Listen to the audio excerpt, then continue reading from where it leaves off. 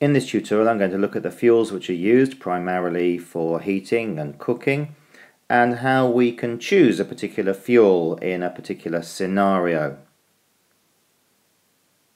We'll look at a simple way of remembering the different factors that you might consider when choosing a particular fuel for a particular use.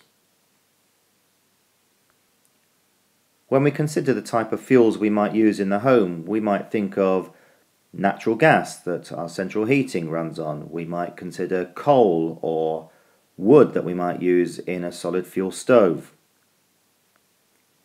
Some of us that live too far from the gas supply may have, for example, liquid petroleum gas in a tank outside the home, which is piped into the house, or we might use heating oil as our central heating boiler fuel.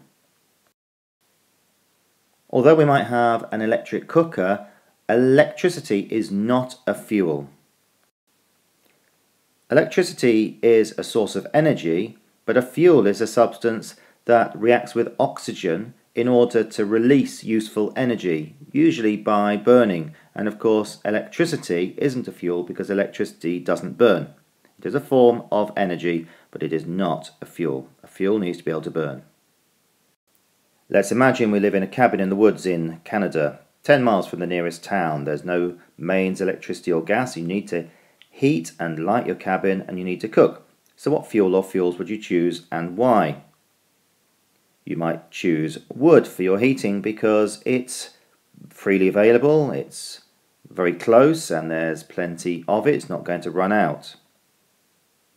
You might choose to make electricity by using a diesel generator. Diesel isn't very accessible because it's in the nearest town, but you can store that relatively easily outside your cabin.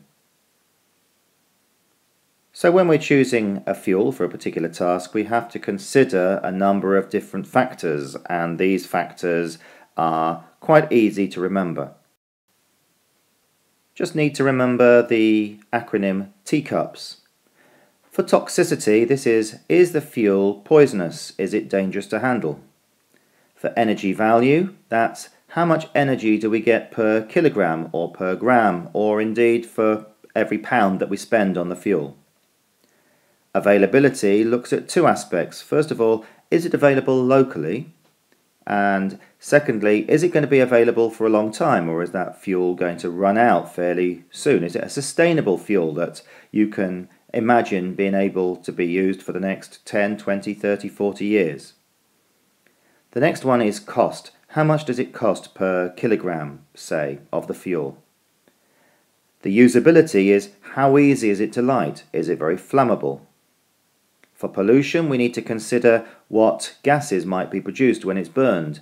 Is it going to produce clean gases or is it going to produce, for example, sulfur dioxide or nitrogen oxide, which could pollute the atmosphere? Finally, for storage, we might need to consider whether we've got room to store, for example, coal or wood outside the house. If we live in a flat on the fourth floor of a building, it's hardly feasible to have a coal fire because we can't store coal in a bunker. Fuels such as natural gas and oil are much easier because they can be stored away from the house, or indeed, in the case of natural gas, doesn't need to be stored at all simply piped in as and when we need it. Here's a past exam question. Phil wants to choose a fuel to heat his house.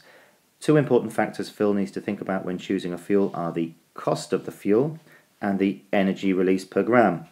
So just two other important factors which Phil needs to think about.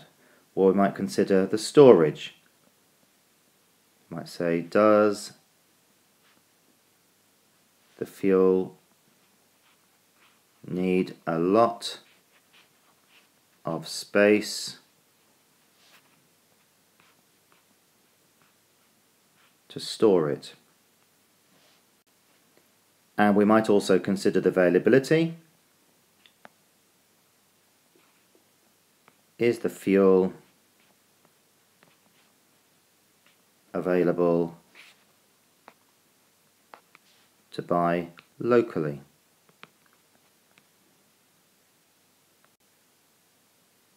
And here's the answer.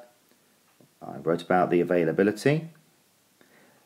I wrote about the space needed to store the fuel, but you could have written about how easy it is to light, in other words, the usability.